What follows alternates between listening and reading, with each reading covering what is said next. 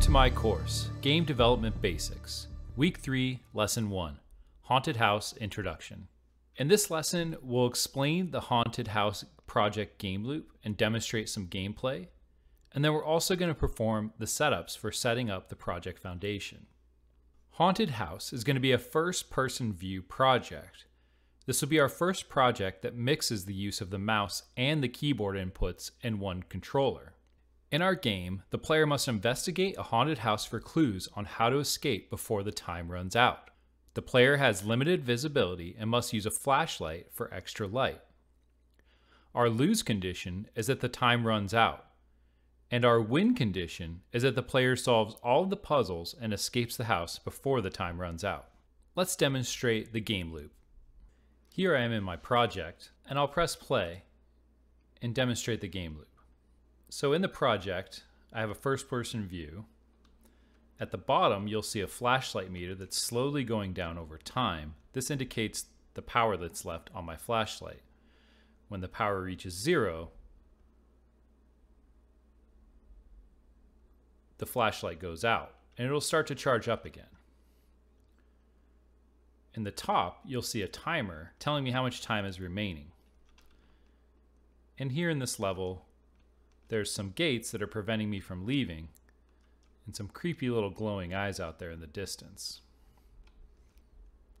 I can go inside this house and explore around.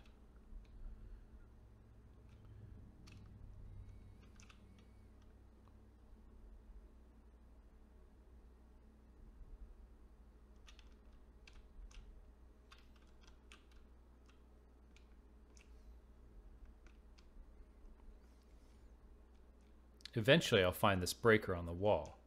And when I flip it, all the lights in the house have now gone out. When I travel downstairs, though, there's a puzzle. I need to interact with these three glowing orbs in the correct order. And also, I'm now locked in the house and I can't escape. When I interact with an orb, it starts to glow and gets a little bit brighter. And start to float.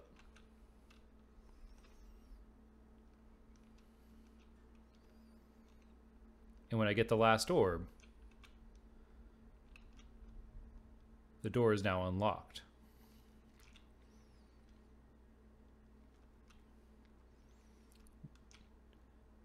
Now when I go to the gate, it'll allow me to leave.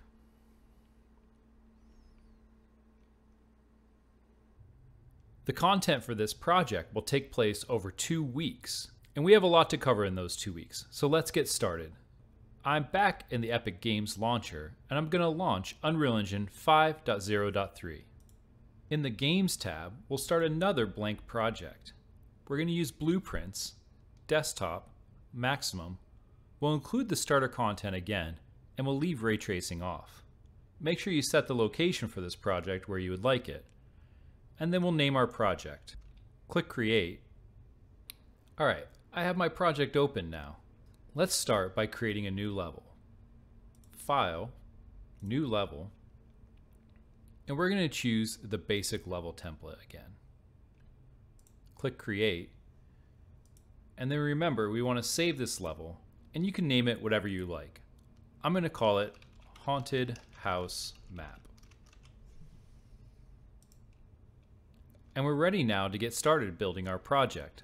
In the next lesson, we're going to import some assets that we can use to build out our level.